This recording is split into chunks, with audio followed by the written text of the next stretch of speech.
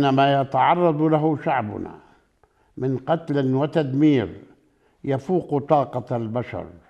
ماذا تنتظر أمريكا أمام ما يجري من إبادة جماعية لأبناء شعبنا في قطاع غزة؟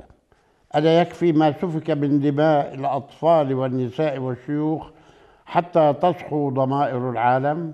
الرئيس بايدن أدعوكم بكل صفاتكم الرسمية والإنسانية بأن توقفوا هذه الكارثة الإنسانية بل هذه الإبادة الجماعية بحق أبناء شعبنا الأبرياء والتي لن يبرئ التاريخ أحدا منها وتقديم الإغاثة لشعبنا المحاصر في قطاع غزة. لابد من وقف هذه الحرب فورا. كيف تكون حرب الإبادة هذه؟ دفاعا عن النفس كما يقولون ويدعون.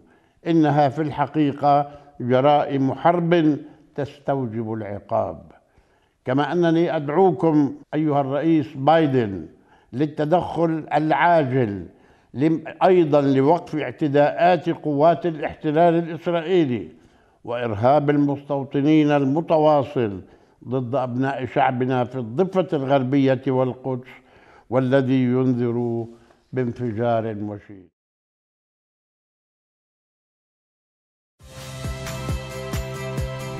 Reagin Fredianto, saksikan terus program-program Kompas TV melalui siaran digital, pay TV, dan media streaming lain. Kompas TV, independen, terpercaya.